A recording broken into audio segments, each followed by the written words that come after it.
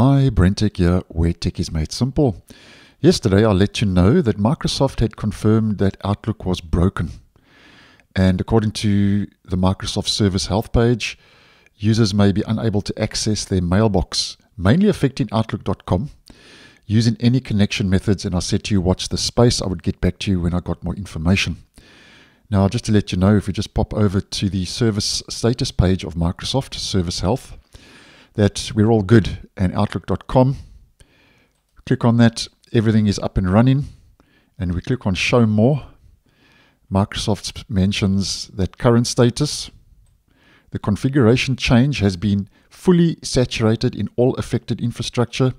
We verified that the service is healthy by monitoring telemetry and confirming resolution will with previously affected customers. So, according to Microsoft, this issue has been resolved and it was affecting Outlook.com, Outlook Mobile, and also Outlook Desktop Client. But just keeping you posted, like we like to do on the channel.